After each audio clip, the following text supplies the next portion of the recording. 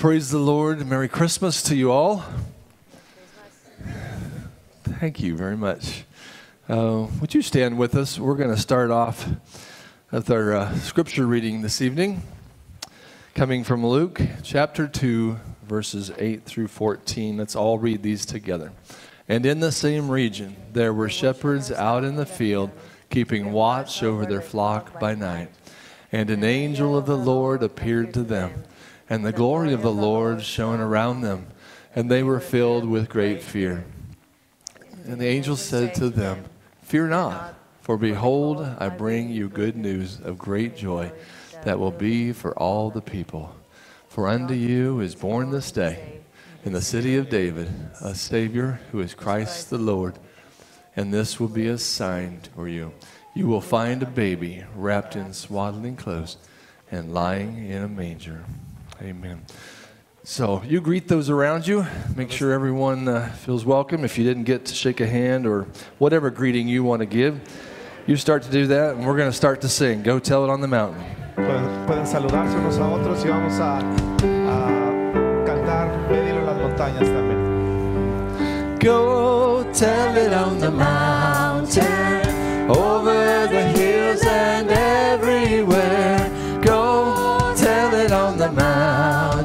that Jesus Christ is born.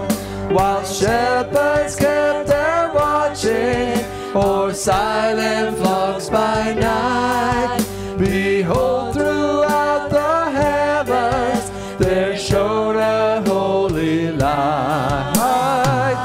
Go tell it on the mountains, over the hills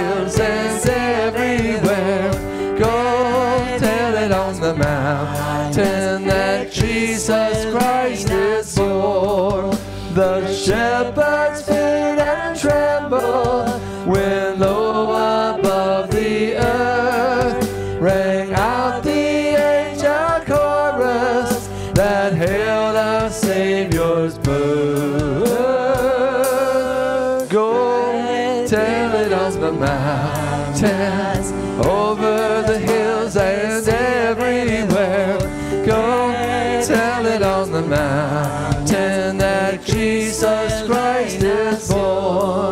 Down in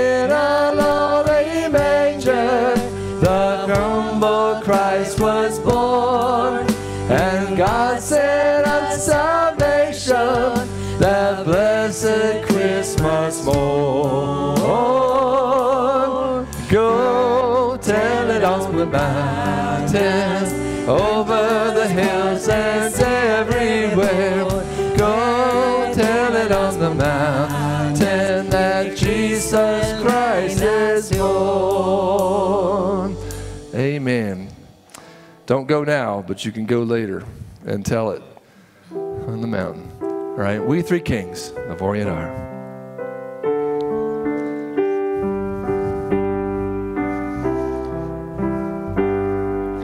We three kings of Orient are bearing gifts. We traverse afar, field and fountain, following yonder star.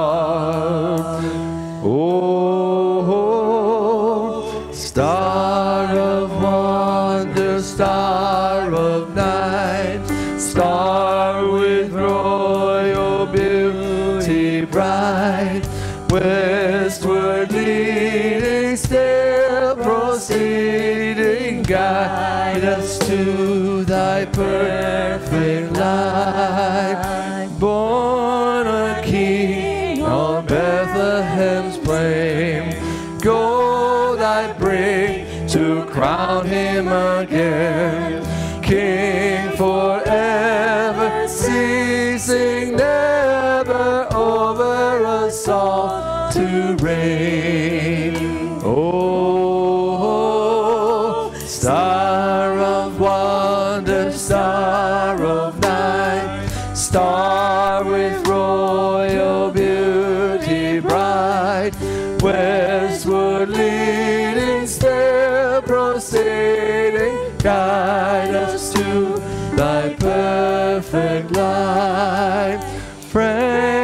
Frankincense to offer have I. Incense songs a deity nigh.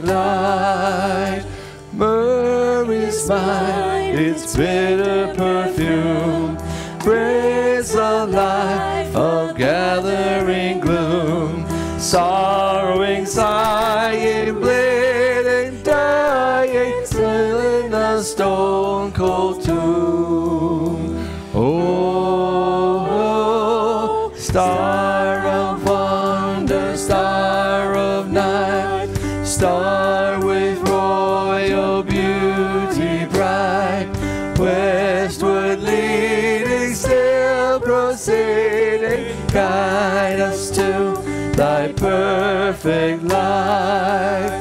Glorious now, behold him arise, King and God and sacrifice.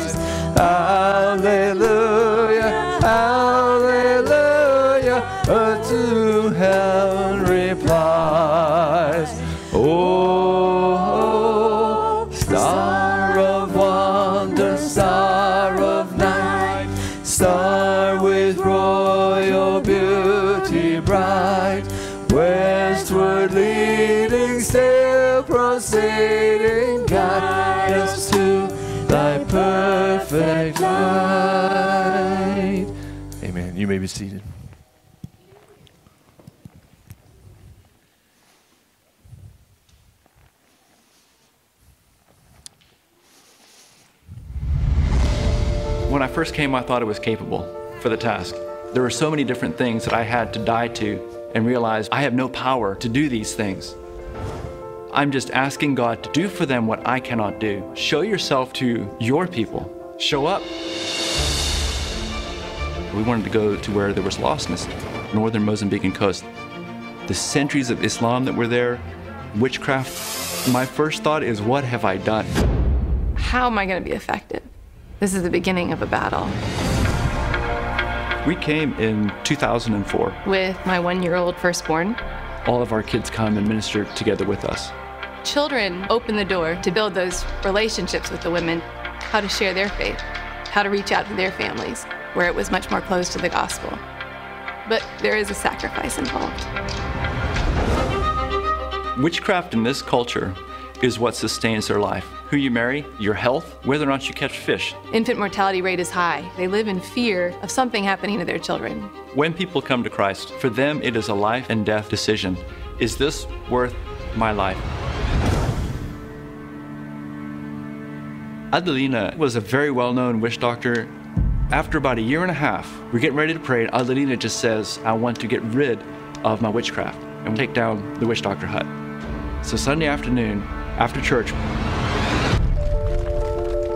when that wall fell down, it was just a complete release to God. I no longer need to be afraid of these things.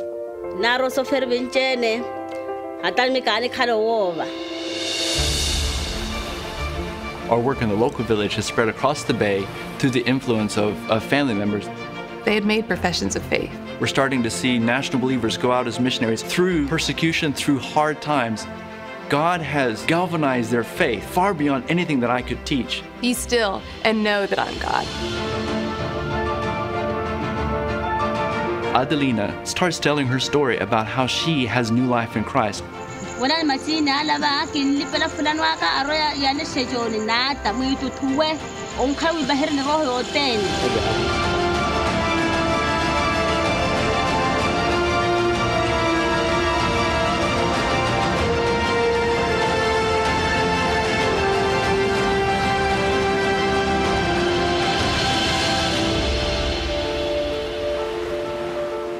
God has been faithful to show himself in ways that I never would have expected him to show himself. It's only the work of the Holy Spirit. That tide is turning and momentum is building, that God's kingdom is coming to this coastline.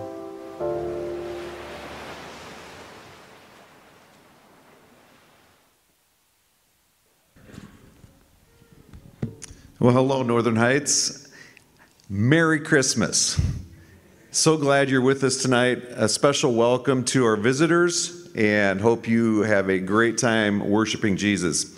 The uh, video that we just saw is for Lottie Moon, which is the missionary branch of the Southern Baptist Church. And what we're doing as a church is helping to chip in and raise funds to support these dear missionaries that are across the world. In the pocket that is in front of you, you'll see a giving envelope if you're interested in participating in that. We're about halfway to our goal, and we would love to make up some ground on that tonight. If you uh, are willing to give a donation, put it in the envelope, and there are some offering boxes in the entryway on each wall. So feel free to do that.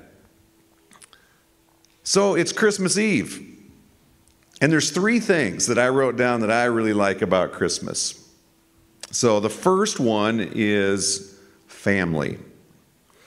It's great to, to be able to spend time together with family. And I realize not every person maybe has family tonight, but the cool thing is, is that with Jesus, we can be part of God's family. So family is a very important thing to God. Second of all, I love lights. It's fun to put lights up outside the house, inside the house, all over the place. But you know what? That's a representation of Jesus being the light of the world. And we can rejoice as we see all these Christmas lights that He is the light of the world. Finally, giving gifts and receiving gifts. That's kind of fun. Is anybody excited about doing that? Yes, of course. But you know what? We were given the greatest gift in history when God the Father decided to send his Son to this earth. So that is the reason we give gifts and receive gifts.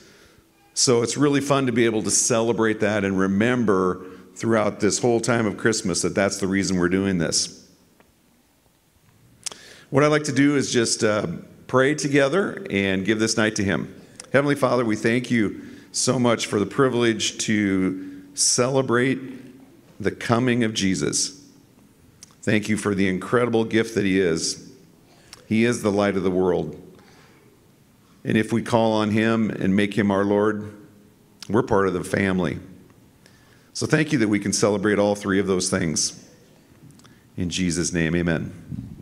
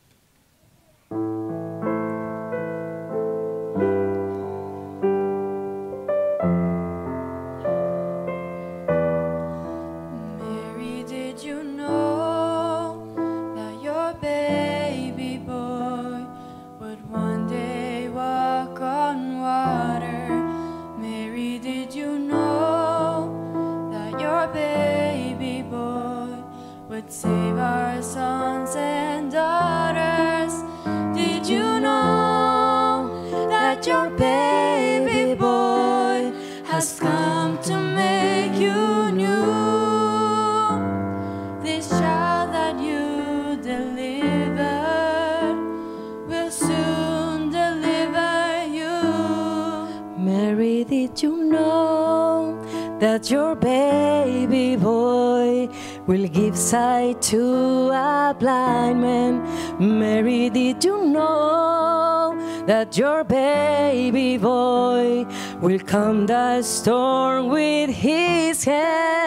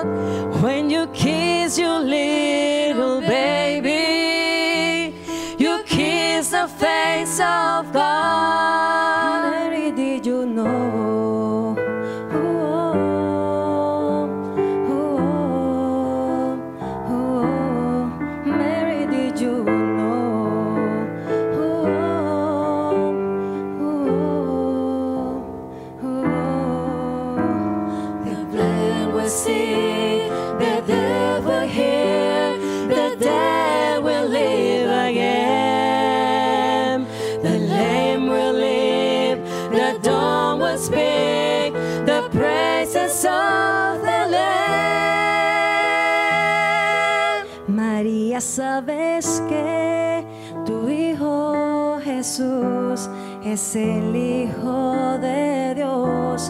María, sabes que tu Hijo Jesús sanará todo dolor. Sabes que tu Hijo Jesús del cielo descendió. El bebé que está en tus brazos es nuestro side.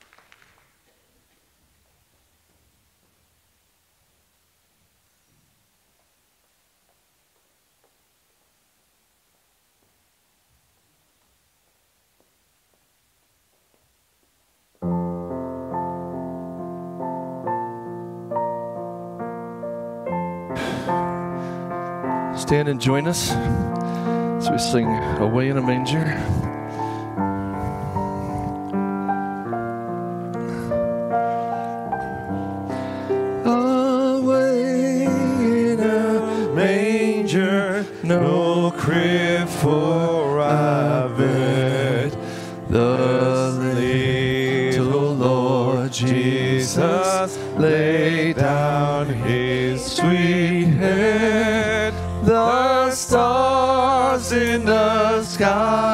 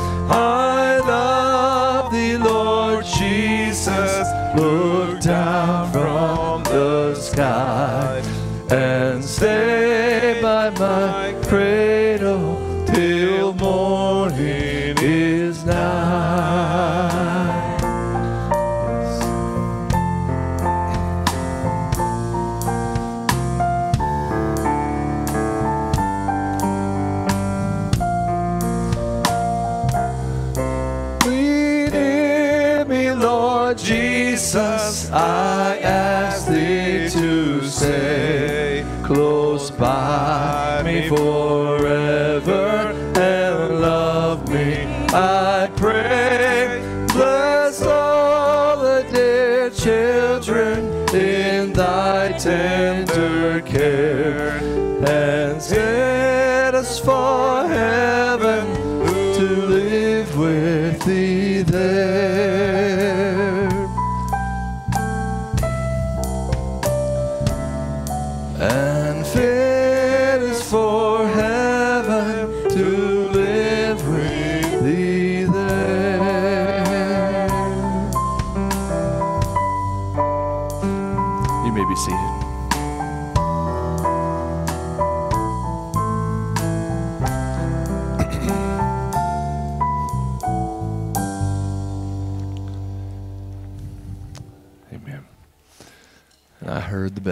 Christmas Day.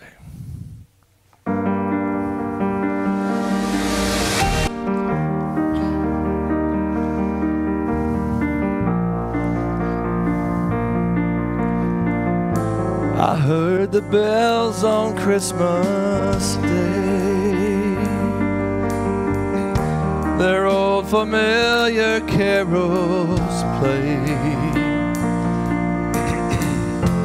And mild and sweet the songs repeat of peace on earth, goodwill to men. And the bells are ringing like a choir they're singing.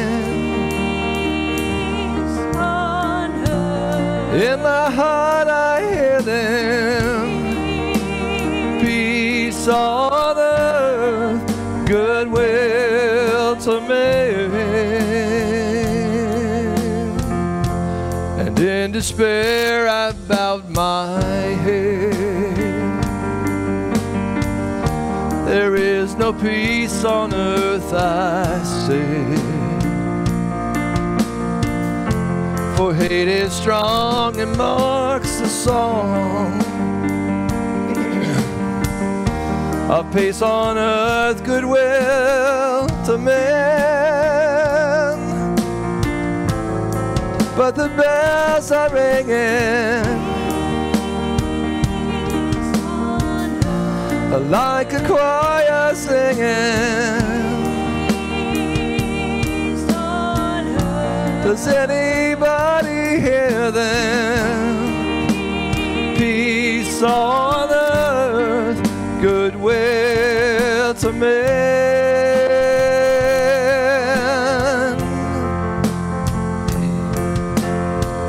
Then rang the bells more loud and deep. God is not dead, nor does he sleep.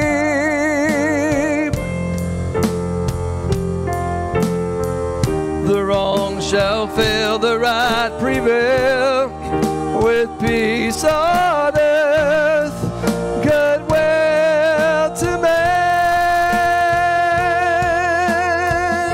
Then ringing, singing on its way.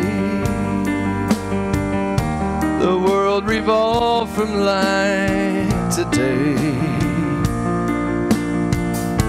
A voice to chime, a chant sublime.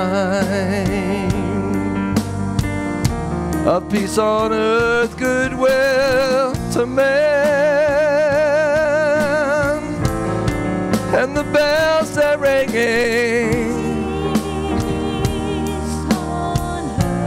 like a choir singing.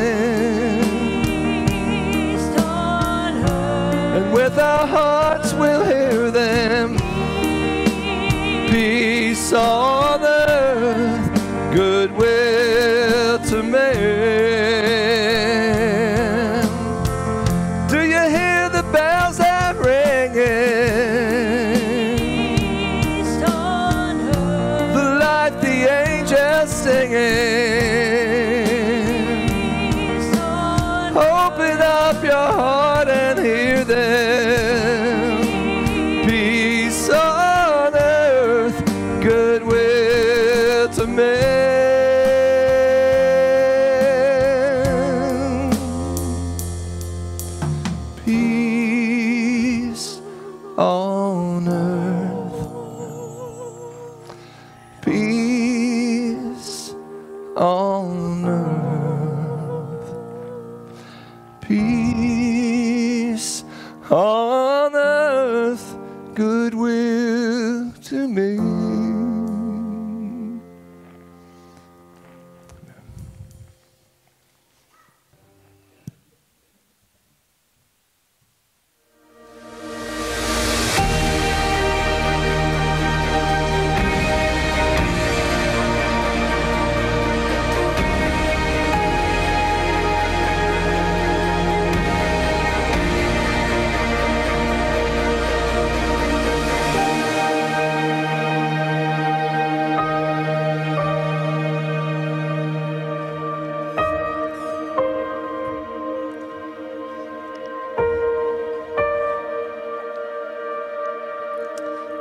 Christmas, Northern Heights. And it's great to see everybody. And on behalf of our family to you, we just hope you have an incredible time this Christmas uh, celebrating an incredible Savior. And I was telling the 430 crowd earlier, it's just so fantastic to see a, a church back in action and a church that's not intimidated by the news that's going on in our world right now as we're worshiping but a church that's dedicated to the worship of a holy God. And I just want to commend this church for your perseverance in light of everything that's, that's happening in our world. And, and, and again, our family just wishes you guys the best Christmas. We love you guys and uh, love celebrating Christmas. We also want to welcome our Spanish ministry here tonight, and so thankful that we're one church and that many from our Spanish ministry could be here tonight. And so just take some time before you leave just to welcome them, and, and we'll welcome each other and, and just enjoy the great church that God continues to build right here in Norfolk. I want to invite you to open up your copy of God's Word if you brought a copy to Isaiah chapter 9. And as a church, we've been looking at this one verse for the past few weeks Isaiah chapter 9, verse 6. And so if you got a copy of God's Word, just open up. Most of the verses that we're looking at tonight are going to be on the screen. The song that you just heard John and Julie sing was written by a guy by the name of Henry Wadsworth Longfellow. He was one of America's most well known poets during the 1860s and before. He was one of the greatest poets, actually, that America's ever produced.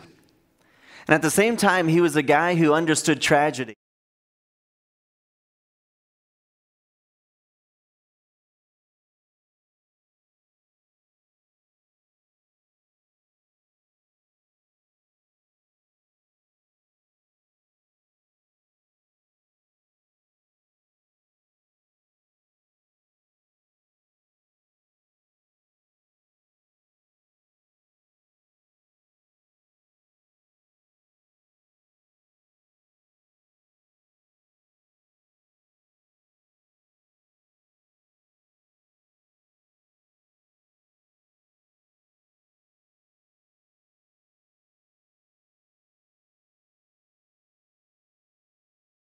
Older because he hated the scars on his face, he decided to live the rest of his life with a beard. He knew, he was a man who knew sorrow. He was a man who knew tribulation. In 1865, his oldest son enlisted in the Civil War without his permission and was severely injured with an injury that sustained his entire life. He never got over it. So Longfellow is a man who understands tragedy. In fact, it's the backdrop of those tragedies that he wrote this song that you just heard, I Heard the Bells on Christmas Day. And you can sort of sense his anguish in the words of the song when one lyric reads this And in despair, as he thought about all the trials that he went through, and in despair, I bowed.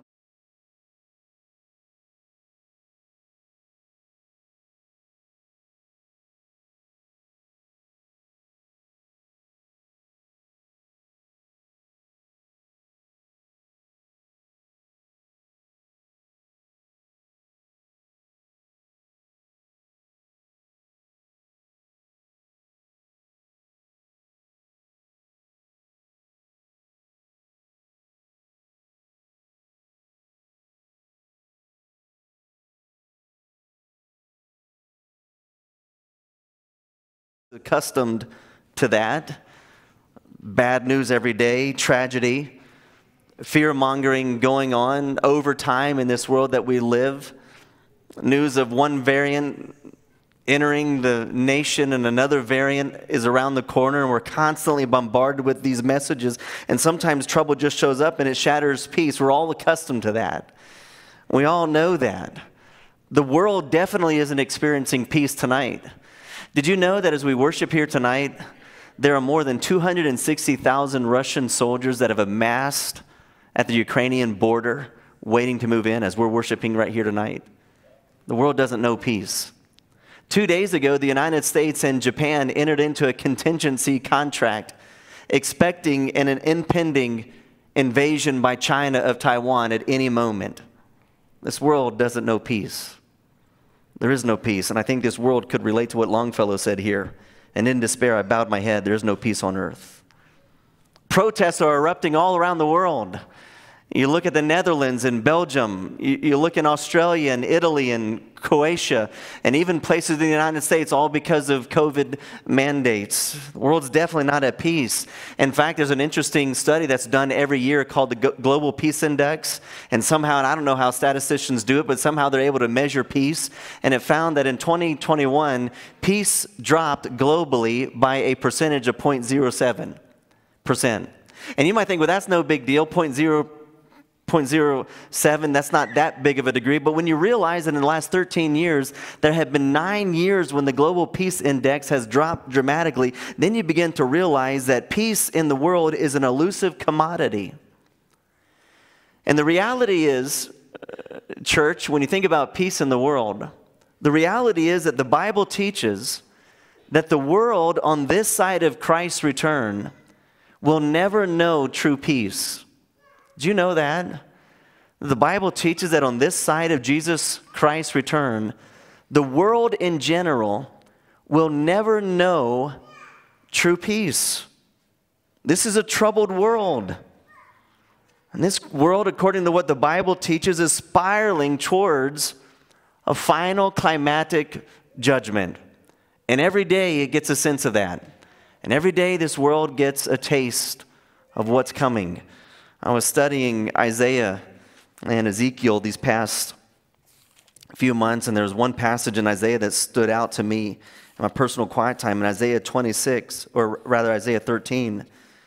God has a great reminder in here about that impending climatic judgment. Listen to these words.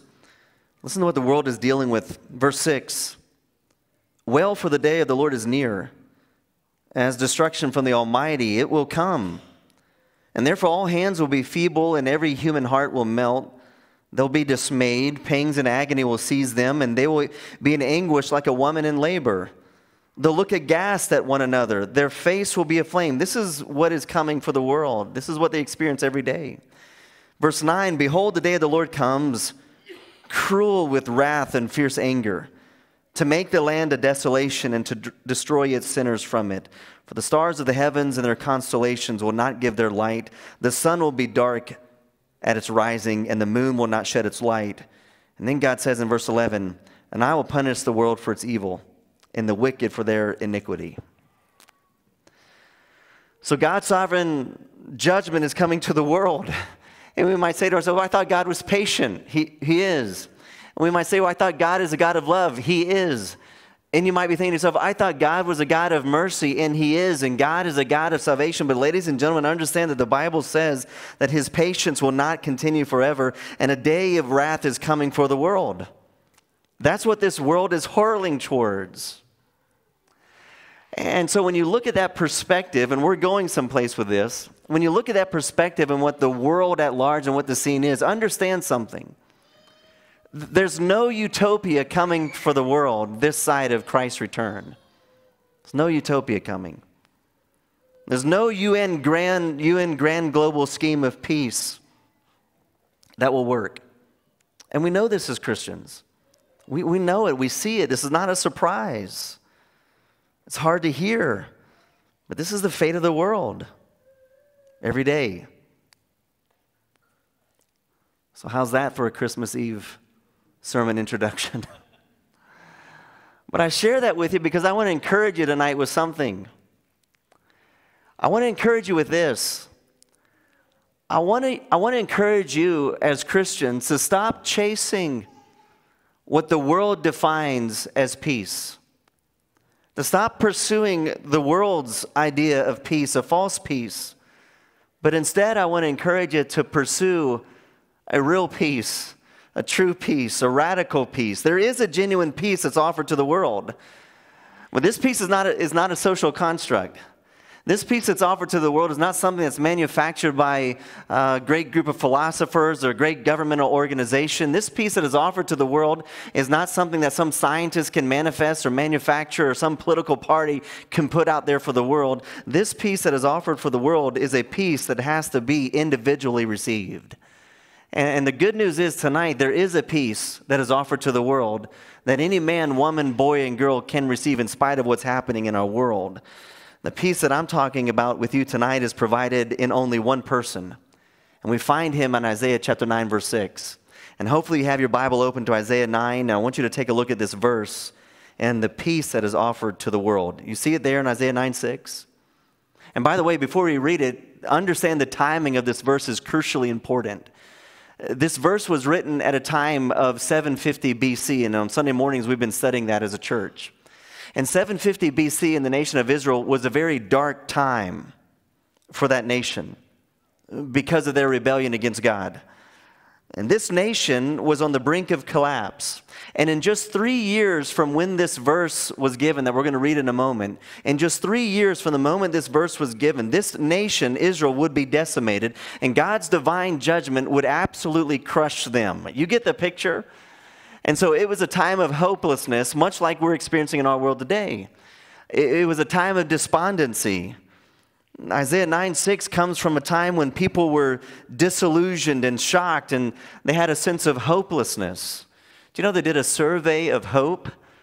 I, and again, I don't know how statisticians measure hope in the world, but you know that they found that about seven out of 10 people have absolutely no hope today? Can you imagine living in existence where you have absolutely no hope? That's Isaiah 9 6. But in the middle of this dark period of history in 750 BC, I want you to imagine as, that as we read Isaiah 9 6 in a moment, it's like a window that opens up from heaven. And Isaiah 9 6 gets a, gives us a close up perspective of the heart of God like no other verse in the Bible. In fact, a lot of Bible scholars believe that Isaiah 9 6 is the greatest prophetic statement found in the entire Bible. It is a message of peace, it is a message for the world, it is a message that encapsulates the heart of Christmas. It's a message about a birth of a baby. But this baby is very different. It's a baby with four names. Take a look at Isaiah chapter 9, verse 6. Let's read it together. I'll read it, you read it out loud with me. Isaiah chapter 9, verse 6 says this For to us a child is born, to us a son is given, and the government shall be upon his shoulder, and his name shall be called Wonderful Counselor, Mighty God Everlasting Father, Prince of Peace. Would you pray with me as we dive into this incredible passage? Let's pray. Lord, we love you. We thank you for these names that we've had the opportunity to examine the last few weeks. And Lord, I, I pray that we wouldn't move by them too quickly, but at each opportunity, at each name, Lord, you would write that name on our hearts and our mind. You would show us how you're the wonderful counselor. Lord, you would prove to us how you're the mighty God, how you are the everlasting Father. And Lord, tonight we want to see in a world that doesn't know peace, how you are one who offers peace individually to every man, woman, boy, and girl. Lord, help us as Christians to know this Prince of Peace in our lives, to be able to experience this kind of peace, even when the world is in total chaos and despair. We thank you for our time of worship. We thank you for this incredible moment in our calendar and Christmas. And Lord, we know that we have an incredible Savior. We give you great praise and great honor, Lord. And it's in Jesus' name that we pray. Amen. And by the way, remember last Sunday and a couple Sundays ago, we began to challenge anybody who is in sixth grade and below. If you memorize this verse, next Sunday we're going to have a prize table out in the foyer. And if you're able to quote this verse with one or two hints, you're going to get something from that prize table just because we believe that this is one of the most important verses to put in our minds. Wonderful counselor, mighty God, everlasting Father, Prince of Peace. We've looked at the first three names in the last few weeks. Tonight we're going to take up the fourth name, Prince of Peace, and we're really going to look at it just from two different angles. And we're really just going to ask really two very simple questions. Question number one is How is Jesus a prince? Prince of Peace. And question number two is How is Jesus peace? So let's think about this first question and this first angle. How is Jesus a prince? You might want to circle the word prince. It doesn't refer to the artist formerly known as Prince, right? But it is a designation for Jesus Christ. And the Hebrew word for prince here is really interesting. It's spelled S A R and it's pronounced Sayer. And, and it has three meanings in Isaiah's time. It had at least three meanings. The first meaning included a literal meaning, and it literally means prince or captain or governor or ruler. And I, and I think we, we can understand that name captain, ruler, prince, leader. A second meaning literally describes this one who rules, reigns, or holds dominion over something. And so a prince was somebody in Isaiah's time and even afterwards who was a young man who would one day come from a royal throne, who would one day have dominion over a kingdom. And so when Isaiah introduces us to this Prince of Peace, he's describing somebody, and in this case, he's describing Jesus Christ, who would one day rule over a kingdom, right? And he would have total dominion over the kingdom, the kingdom of this world would be his reign. But in Isaiah's day, there's a third additional meaning that is really interesting. And this third additional meaning, I really want you to let it to sink in into your mind. And here it is, this third meaning. This word prince, thirdly, refers to someone who is the sole owner or controller of something. Someone who's the control owner or controller of something. For instance, in Isaiah's day, if you were the commander of an army, you're oftentimes referred to as a prince. And so a, a, a commander of an army, they, would, they wouldn't call commander, but they would call him prince. If you were a dad and you had uh, one children or more in the home of Isaiah's day, you were called a prince. Now, dads, you might want to go home tonight. You might want to institute that in your home. No longer will you call me dad. From now on, you will call me prince, right? This is, but this is what they did in Isaiah's day. And so when Isaiah calls Jesus the Prince of Peace, he's saying not only is Jesus the ruler, not only is Jesus a captain, not only is one day is he going to have dominion over the kingdom of this world, but Jesus is the owner and the keeper and the master of peace. So, how is Jesus the owner of peace? Well, all you have to do is look at the life of Jesus. And you find this aspect of master of peace all throughout Jesus' ministry, don't you? I mean, think about all the interactions Jesus had with people, everything that Jesus said, all the miracles ha- ha- that he performed, and how he embodies this idea in this name of being Prince of Peace. Think about the life of Christ for a moment. In Luke 4, when there was a crowd that became so angry at Jesus that they wanted to throw him off of a cliff, the Bible says that Jesus just simply peacefully walked right through them. In Luke 8, while on a boat in the middle of a storm, the disciples were terrified in the storm, thinking their ship was going to sink. What was Jesus doing? He was sleeping. peacefully, right? He embodies this idea of being Prince of Peace.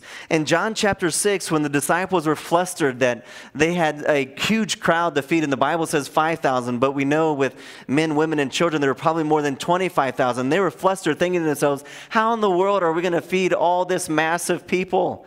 And Jesus simply peacefully gave the command give them something to eat and Jesus provided. In John 11, when Jesus learned the news that his good friend Lazarus had passed away and died, and, and the whole community was wailing in grief, do you remember what Jesus did? Do you remember what he said?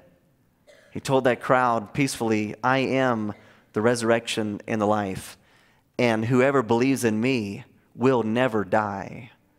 In John chapter 14, moments before Jesus' crucifixion, the disciples were in the upper room. They were filled with fear and panic. Do you remember what Jesus said at that moment? Don't let your heart be troubled. Believe in God. Believe also in me. And at the very moment of, his crucifixion, I think we see this embodiment of being the Prince of Peace the most because at the very moment of his crucifixion, when Jesus was dying on the cross and the crowd was hurling insults at him, do you remember what he prayed in total peace before the Father? Father, forgive them. They know not what they do.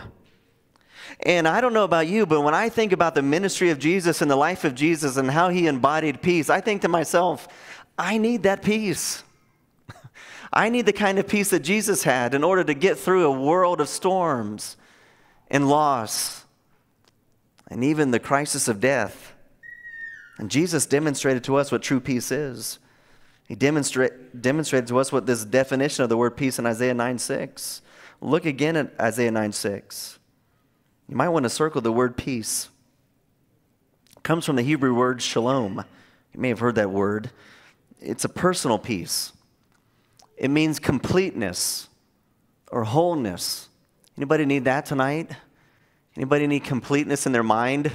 Wholeness in, your, in their mind. Eh, This biblical word shalom isn't the idea of absence from trouble. It's not the idea that uh, there's absence of war is the only way that you can have peace. But no, this shalom peace, this biblical peace, has nothing to do with what's going on around you or outside of you, but it has everything to do with the condition on the inside of you. That's shalom. And so understand as you look at this word shalom, it has nothing to do with what's going on in the world, but it has everything that's to do with what's going on right here in a person's heart. In other words, like Jesus, a person can be at total and complete peace no matter what news they hear. A person can be at total, it is possible for a person to be at total, complete peace no matter what circumstances they're dealing with, no matter what is going on in the world. And we find this word shalom all throughout the Bible. It's mentioned more than 200 times. For example, in Isaiah 26 3, we read these words that you keep him in perfect peace. There's that word shalom, whose mind is stayed on you because he trusts in you. In Isaiah 32, verse 17, we find the word again, and it says, In the effect of righteousness will be peace, shalom, and the result of righteousness, quietness, and trust forever. And so, folks, we've got to understand that whatever else the world calls peace, it's just an illusion. The world thinks that peace comes from the outside in. You know what the Bible teaches? Real peace comes from the inside out. That's why biblical peace is so different than anything that the world has to offer. Jesus' peace, think about this, didn't come from his ability to change his circumstances. Jesus rarely ever changed his circumstances, he just dealt with it. Jesus' peace didn't come from him changing his circumstances. Jesus' peace didn't come from him thinking positively about what's going on in the world. And he was at Lazarus' tomb and just thinking positively. That's not what happened here. Jesus' peace didn't come from centering himself. Has anybody ever given you that advice? You just got to center yourself. I don't even know what that means when people tell me that. I got to center myself. Jesus' peace didn't come from centering himself. Do you know where Jesus' peace came from? It came from trust in his Father. It came from knowing that his Father was absolutely sovereign over this world. It came from a trust knowing that God's providence cannot be thwarted in this world. That's where Jesus' peace came from. That gave him peace. And this real peace belongs exclusively to the baby in the manger who rules and masters over it, but he gives it individually to people. And that brings us to the second point here that Jesus is peace. We've already looked at how Jesus is a prince. Now I want you to notice how Jesus is peace. And there's a catch to understanding this that you can never experience the peace of Jesus until you first have experienced the peace with God. You catch that? You can't have this peace that we've described of Jesus in Luke 4 and Luke 8 and in John 6 and John 11 and so many other instances in the Bible until you first have peace with God. And I want us to think about for the next few minutes what does it mean to have peace with God? Do you know that there's a virus out there? And I want to help you understand what does it mean to have peace with God. But did you know that there's a virus out there that's more lethal than COVID? And something that every human being should fear more than COVID? There's a virus out there that's absolutely lethal and deadly to every human being. There's a virus out there that has infected every human being. Do you know what it is? It's sin. And sin has infected every human being who has ever been born.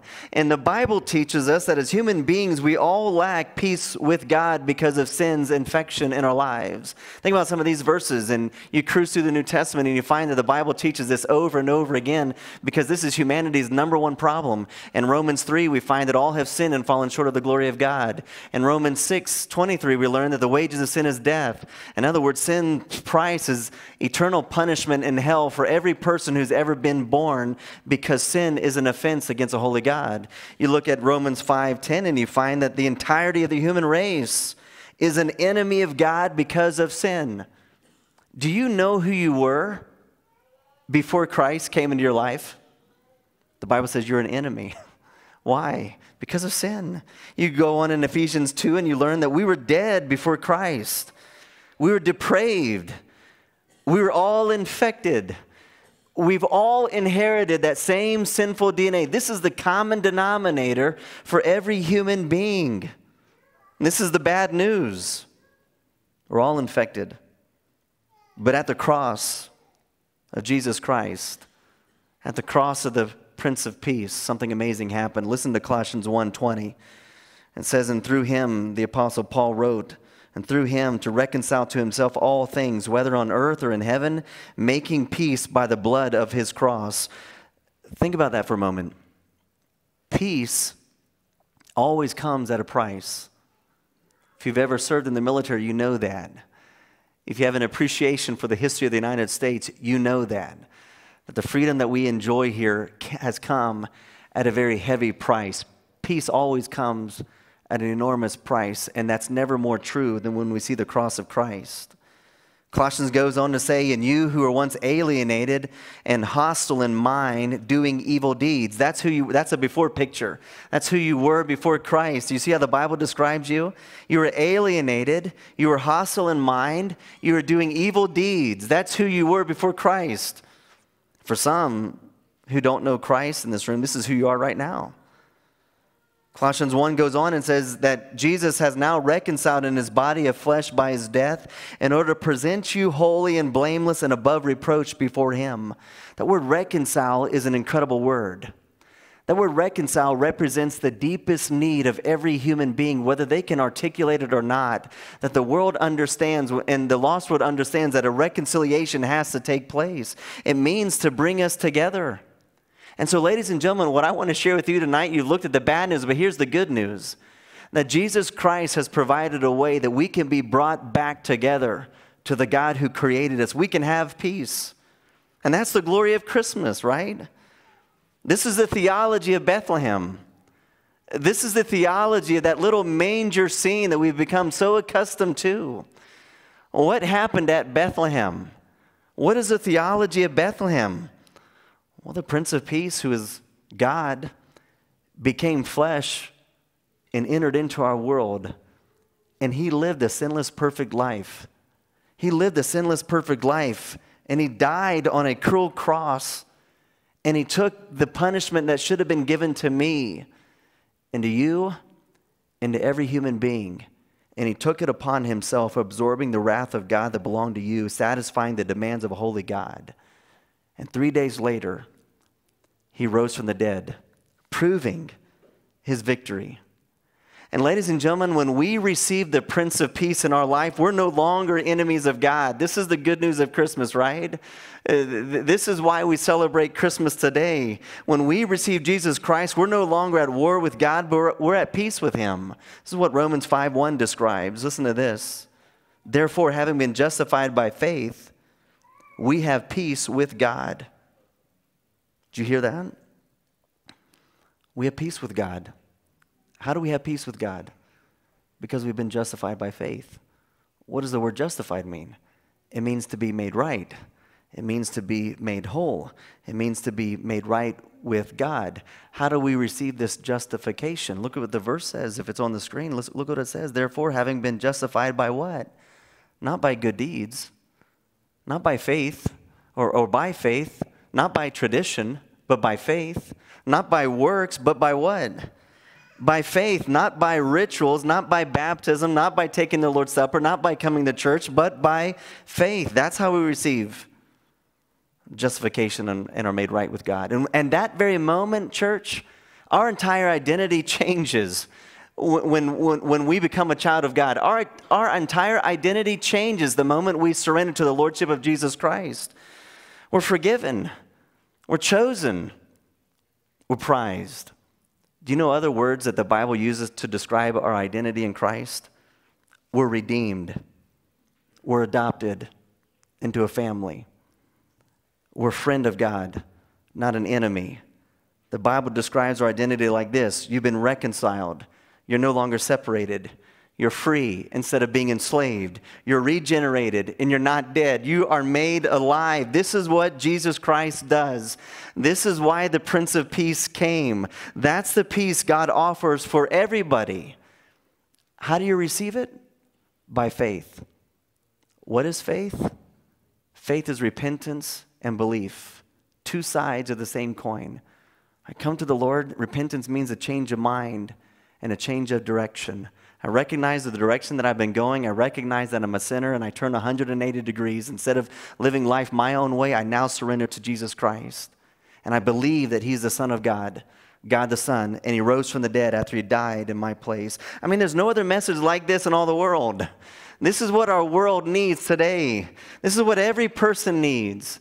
This is what a hungry world is longing for today. This is why you see so much misery in the news.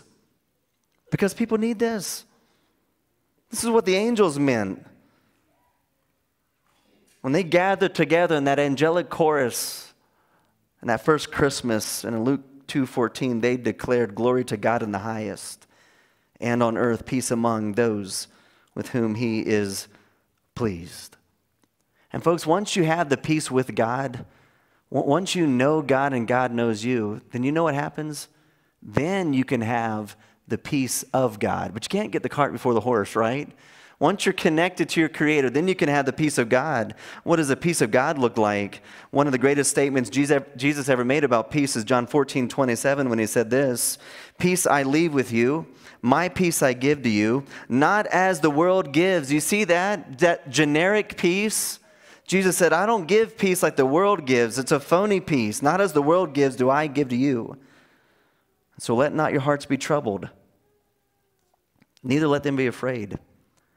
It's interesting that Jesus said that statement, that verse, moments before he was going to be crucified.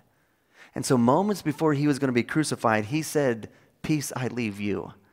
Not as the world gives, do I give. Don't let your hearts be troubled. So, Jesus showed us again that you can have peace in the middle of a storm. Do you know you, you can have peace in the middle of a rocky marriage? Did you know that you can have peace in the middle of a dysfunctional family? Do you know that you can have peace when there's all kinds of questions about your job and your future? Do you know that you can have peace no matter what is going on in our world and no matter what those so called experts tell you is coming around the corner? You can still have peace in the middle of a storm. The Apostle Paul echoed the same idea in Philippians 4 6. Listen to this. Don't be anxious about anything, the Apostle Paul said. In other words, don't worry about anything. Talking to the believer. But in everything, by prayer and supplication with thanksgiving, let your requests be made known to God. And then in verse 7, and the peace of God, which surpasses all understanding, will guard your hearts and your mind in Christ Jesus.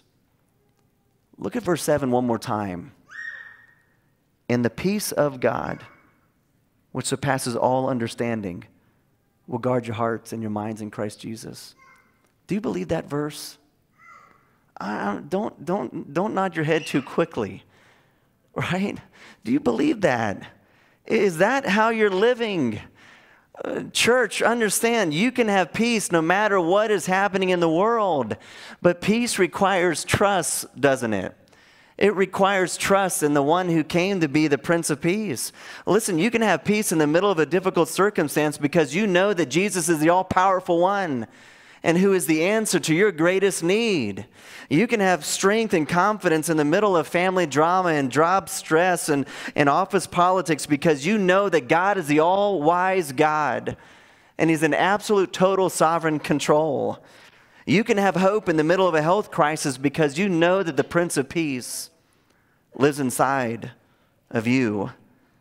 You can face the world scene today and all of its misery with joy and contentment because you know that the Prince of Peace lives and you know that the Prince of Peace reigns. Church, do you understand the reality of Christ in you? Do you know the reality of Christ in you this Christmas?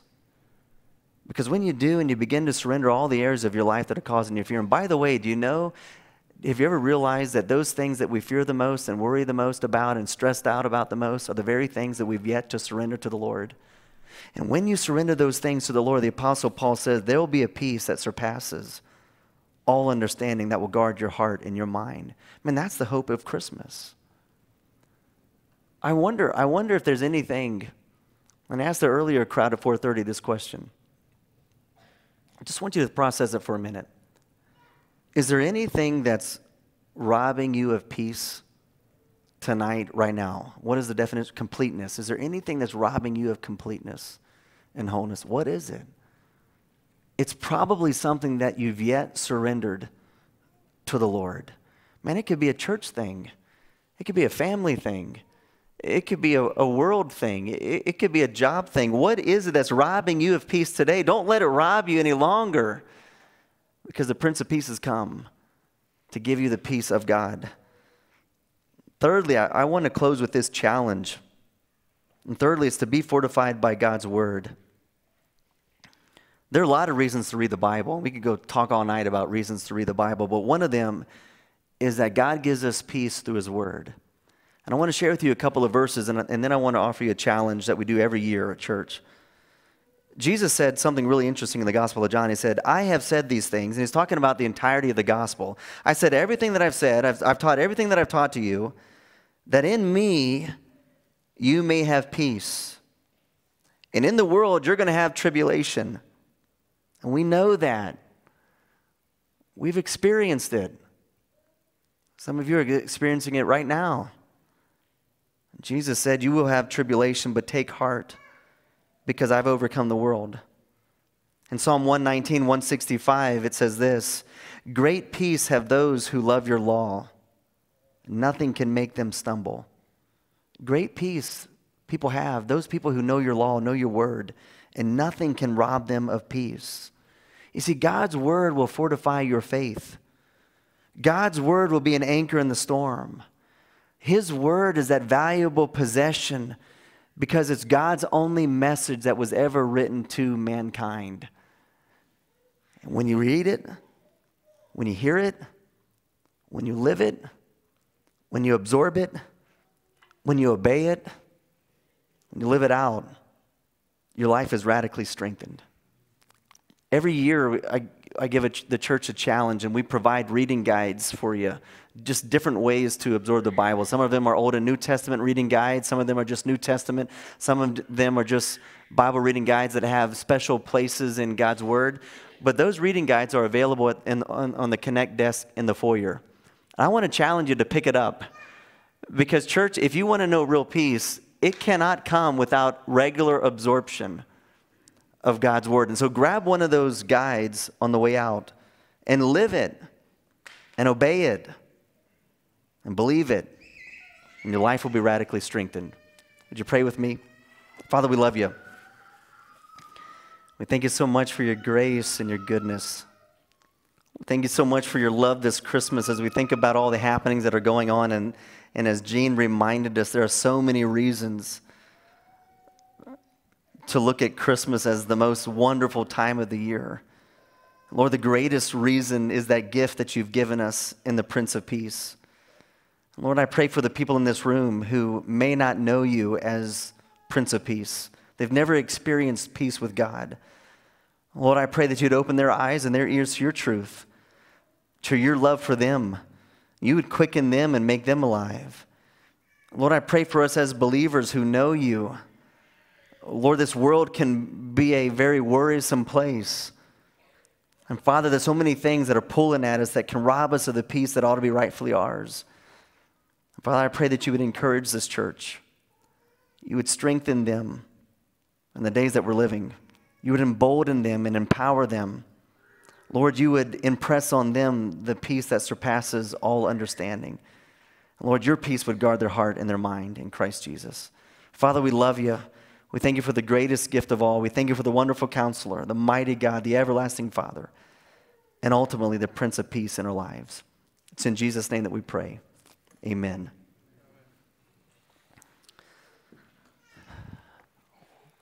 Well, tonight we have the privilege of celebrating and remembering the Lord's Supper. And if you'd like to participate with us, If you're a follower of Christ and a believer in Christ, and there's been a time in your life when you've submitted to the Lordship of Jesus Christ, we, we want you to know that this is an open Lord's Supper. And so, regardless of where your church membership is, we'd love for you to participate with us if that's something you want to do. So, coming in, if you didn't grab a Lord's Supper um, communion set and you'd like to do that with us, if you just lift your hand and one of our ushers will get one to you, just lift it kind of high so we can make sure that everybody who wants to participate can do that.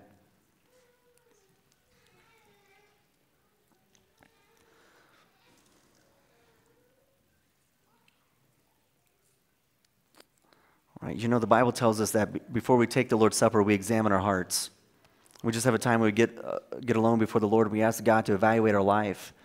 And the, the question we need to ask as we pray silently in a moment Lord, is there anything in my life that doesn't measure up to the fullness of Christ? And Father, if there is, you'd show me so I can give that to you and confess it to you. And, and Lord, you change me. So let's just move into a moment of silent prayer and I'll close our time in prayer. But you evaluate your heart and ask God's Holy Spirit just to show you things in your life, conviction of things that need to be made right with Him. Let's pray.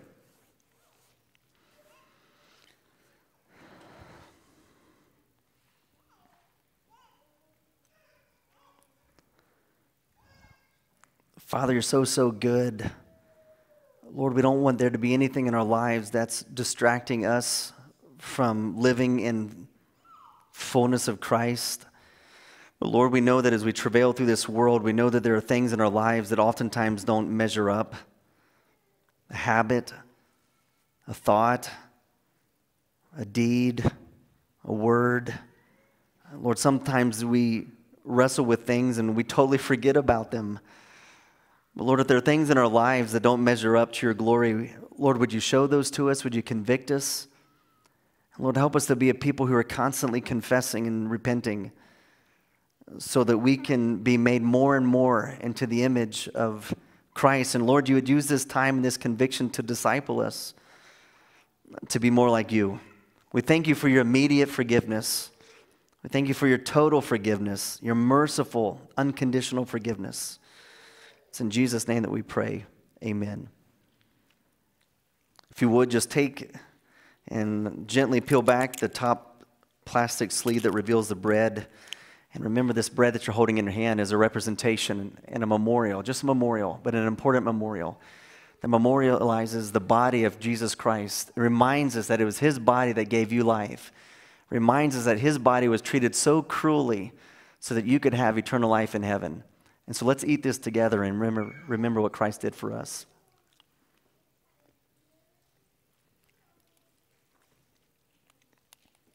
You pull back the second sleeve carefully and revealing the juice, and, and again, this juice, like the bread, is a reminder. It's a memorial. It's a memorial and a reminder of the precious blood of Christ and how much God loves you and He loves the world so much that He gave the only, His only begotten Son. And anybody who would believe in Him would never perish, but have everlasting life. So as you drink this, remember the precious blood of Christ that was spilled on your behalf. You drink and remember.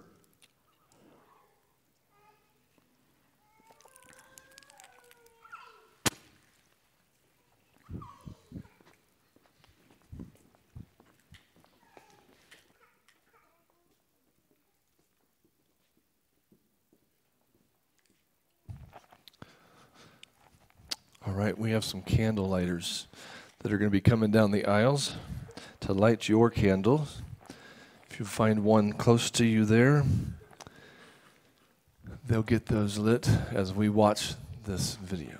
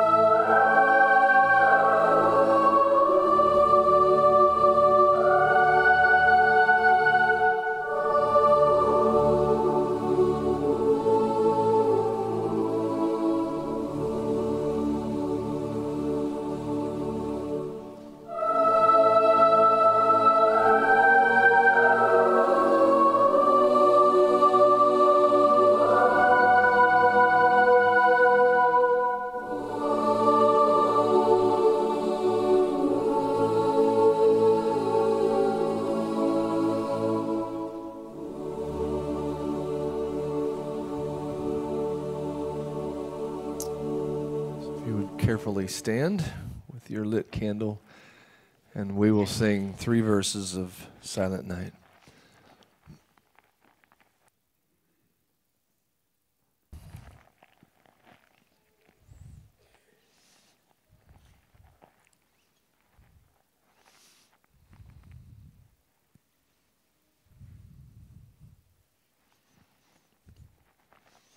All right, let's sing it.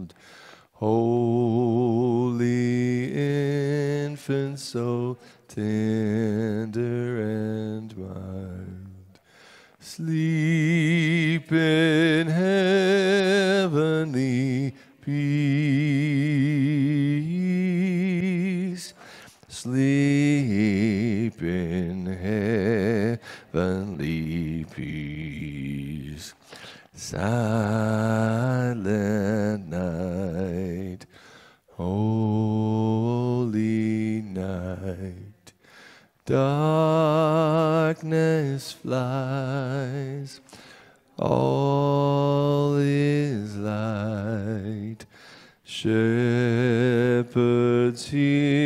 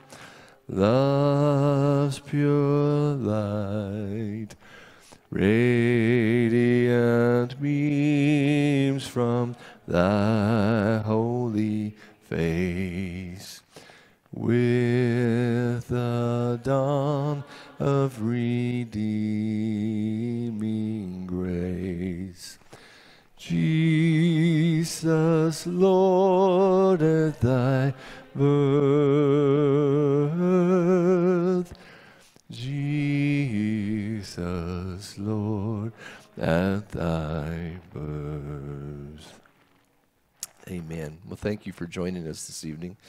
Uh, Merry Christmas again to you and your family. You can blow those out as you uh, desire. And there'll be baskets at the back if you uh, just take your blown out candle with you towards the door and you can put those in the basket. If you would, let me uh, pray.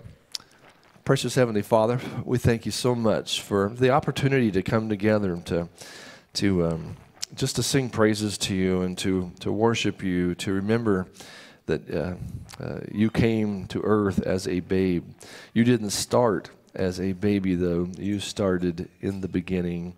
And uh, so we just thank you for, for doing that, for living a perfect life, giving us example how we should live, and for going to that uh, cruel cross and uh, bearing our sins uh, and forgiving us of our sins. So we love you so much. Thank you that you love us more. Uh, go with us. Bless our uh, times together uh, this Christmas. In your precious name we pray. Amen. You are dismissed.